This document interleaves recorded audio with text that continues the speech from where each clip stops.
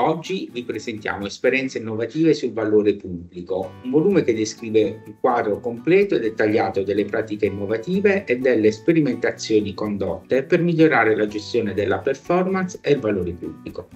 Con questa pubblicazione si conclude il progetto del Dipartimento della Funzione Pubblica con cui Formez ha inteso negli ultimi tre anni promuovere il valore pubblico e processi partecipativi, stimolare l'adozione di approcci innovativi e sperimentali che possano migliorare l'efficacia e l'efficienza delle amministrazioni pubbliche ed infine fornire alle amministrazioni centrali e regionali strumenti concreti e metodologie per migliorare la propria performance organizzativa e quindi la qualità dei servizi resi ai cittadini e alle imprese.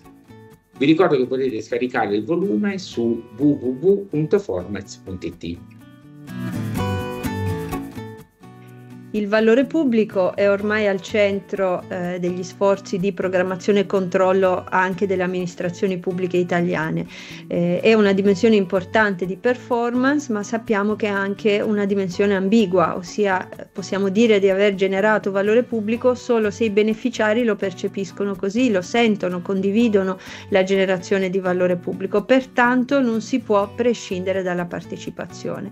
La partecipazione che nella normativa precedente si concentrava sulla valutazione, con il PIAO abbraccia un po' tutto il ciclo di performance, quindi anche l'analisi di contesto e l'identificazione degli obiettivi di valore pubblico eh, è condivisa l'importanza del concetto di valore pubblico e partecipazione, un po' più carente, carenti sono le competenze in tema di strumenti operativi per poter coinvolgere gli stakeholder. Su questo il laboratorio del Dipartimento della Funzione Pubblica e Formez è una fonte di conoscenze ed esperienze preziosissime per le amministrazioni che vogliono migliorare la partecipazione.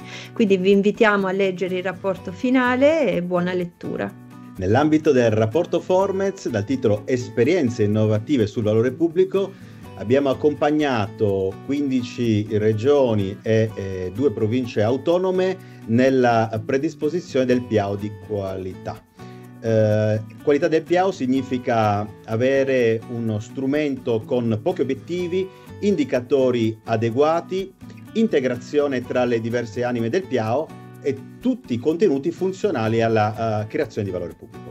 Qualità del PIAO significa anche però integration team, quindi un gruppo di lavoro che che costruisce, che programma insieme e significa anche qualità del processo, ovvero partire dagli obiettivi di valore pubblico, pianificare gli stessi insieme agli stakeholder, quindi poi andare a programmare obiettivi di performance funzionali primi, misure anticorruzione che proteggano le performance del valore pubblico e infine programmare azioni di reclutamento e di formazione fun- di profili funzionali a, a raggiungere gli obiettivi di valore pubblico. Di questo ed altro parleremo nel rapporto Formez ehm, realizzato per il Dipartimento della Funzione Pubblica. A tutti buona lettura.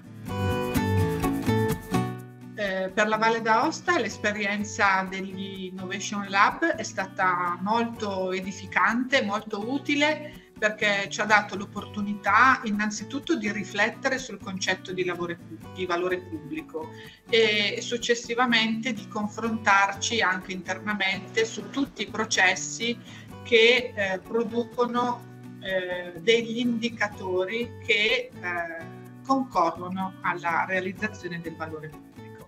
Nel nostro caso noi abbiamo lavorato molto sul, sul, tema dei NIT che ci è caro, quindi i ragazzi che non studiano e che non lavorano, sui quali stiamo eh, mettendo a terra una serie di politiche molto importanti per eh, evitare la dispersione scolastica e affrontare anche l'inverno demografico. Quindi in ultima analisi esperienza positivissima.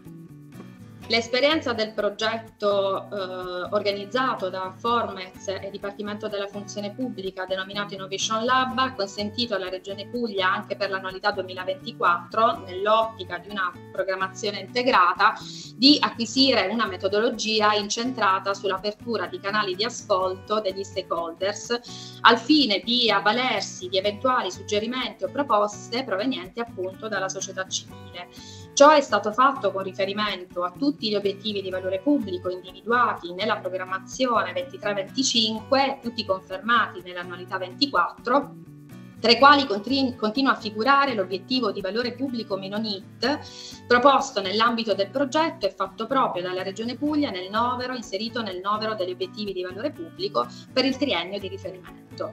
Tutte le evidenze e i contenuti della partecipazione della Regione Puglia al progetto Innovation Lab sono contenuti nel volume Esperienze innovative sul valore pubblico. Buona lettura.